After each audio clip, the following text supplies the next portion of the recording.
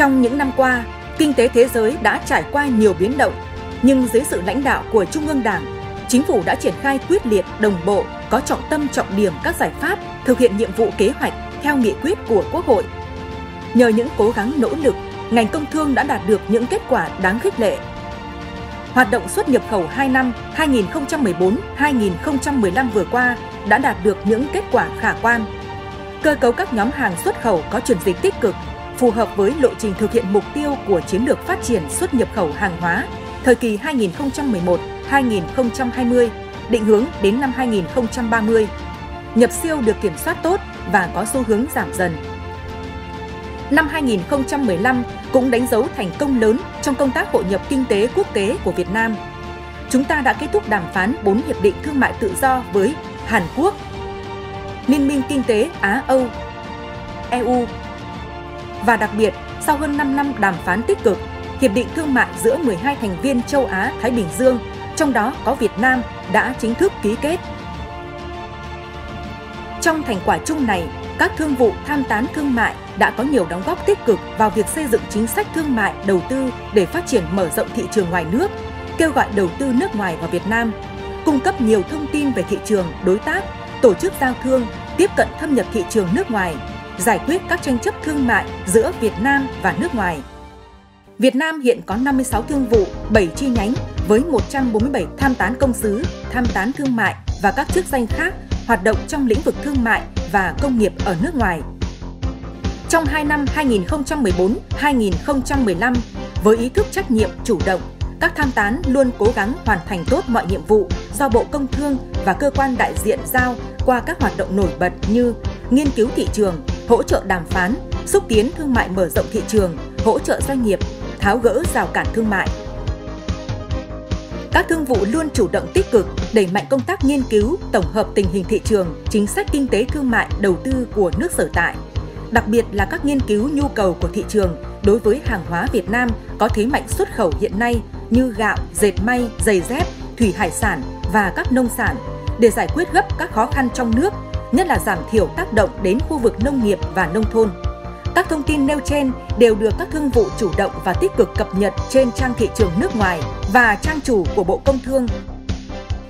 Trong 2 năm vừa qua, đồng hành cùng với tiến trình đẩy mạnh công tác hội nhập kinh tế quốc tế, các thương vụ đã rất tích cực hỗ trợ công tác hội nhập của Bộ Công Thương và các đoàn đàm phán.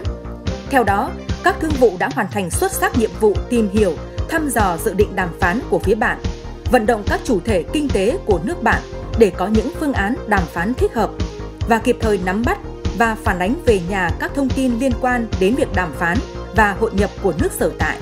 Trực tiếp tham gia hỗ trợ 111 phiên đàm phán, 40 cuộc họp Ủy ban Liên Chính phủ, Ủy ban hỗn hợp giữa Việt Nam với các nước trên thế giới.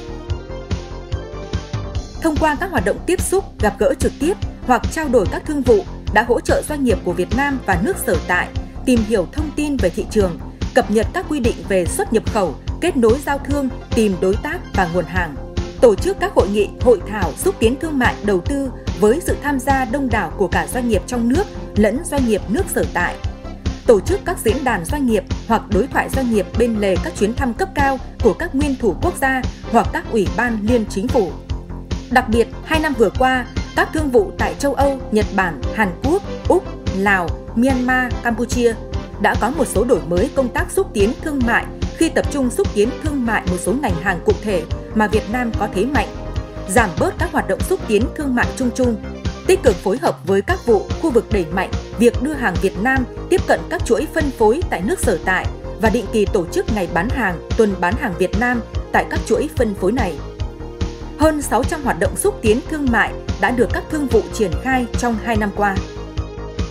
Hoạt động hỗ trợ doanh nghiệp là hoạt động thường xuyên của các thương vụ, trong đó chủ yếu là cung cấp thông tin liên quan đến cơ chế chính sách, tìm hiểu thị trường và ký kết hợp đồng,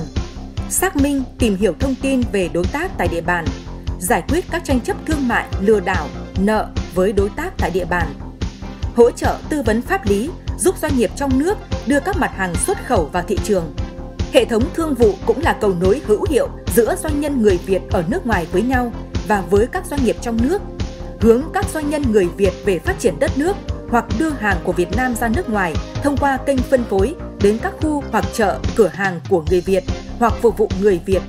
Từ đó lan tỏa đến cộng đồng cư dân của nước sở tại. Hàng năm, các thương vụ phối hợp với tổ chức tư vấn lãnh đạo Bộ Công Thương về công tác đối với người Việt Nam tại nước ngoài, tổ chức các cuộc tọa đàm doanh nghiệp để cung cấp thông tin định hướng phát triển lĩnh vực công thương,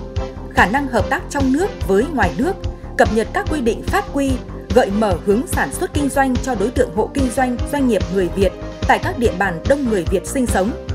Hơn thế, các thương vụ cũng rất tích cực phối hợp với Bộ Công Thương hình thành các hội doanh nhân người Việt ở nước sở tại để quy tụ các doanh nghiệp người Việt ở nước ngoài và tư vấn phối hợp với Hội Doanh nhân người Việt Nam, Hiệp hội Giới chủ người gốc Việt tổ chức các chương trình giới thiệu cơ hội đầu tư kinh doanh tại Việt Nam cho các đối tác.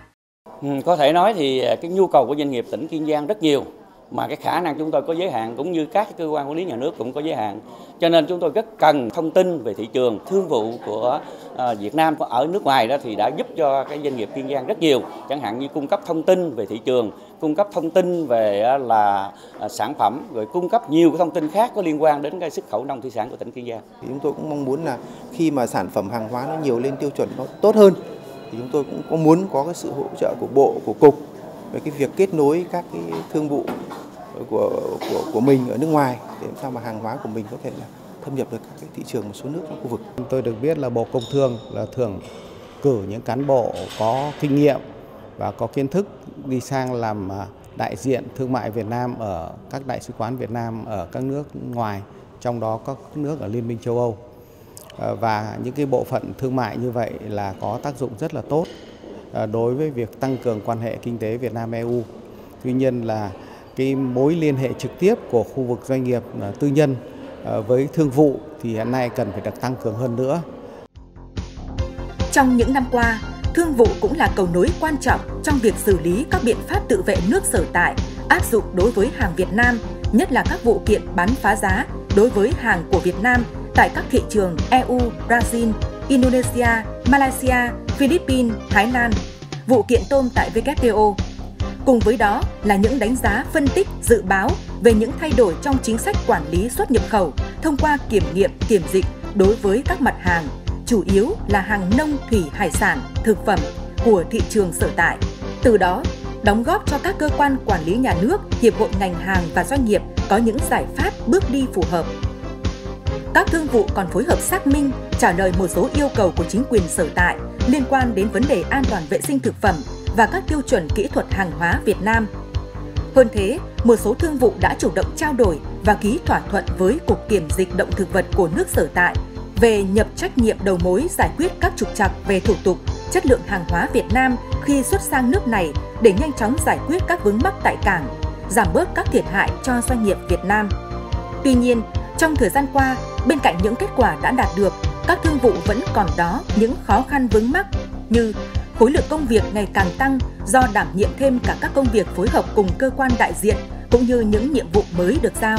Ngay cả các công việc không thuộc lĩnh vực chuyên môn gây ảnh hưởng đến công tác chuyên môn. Trụ sở, điều kiện cơ sở vật chất của một số thương vụ đã xuống cấp, các hoạt động bị hạn chế do phụ thuộc tài chính. Tính tiếp nối trong việc thay đổi nhân sự, số lượng biên chế của các thương vụ trong khu vực cũng là vấn đề hạn chế. Đối với các cái ờ, thương vụ ở nước ngoài ấy, thì họ đã có những cái hỗ trợ rất là tốt ờ, và tích cực. Ờ, ví dụ như là cái vấn đề về kết nối khách hàng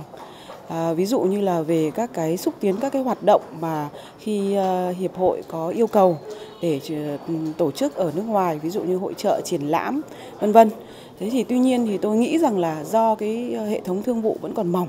uh, cả về nguồn lực cũng như là về nhân lực cho nên là cái việc mà Ờ, chúng ta có thể triển khai được một cách hiệu quả thì nó vẫn còn rất là hạn chế. Ờ, tôi cũng mong rằng là trong cái thời gian sắp tới thì chúng ta nên có một cái giải pháp cụ thể để mà hỗ trợ cho cái hệ thống thương vụ họ có được những cái kênh tiếp cận tốt, có những ờ, con người nhân lực am hiểu chuyên ngành.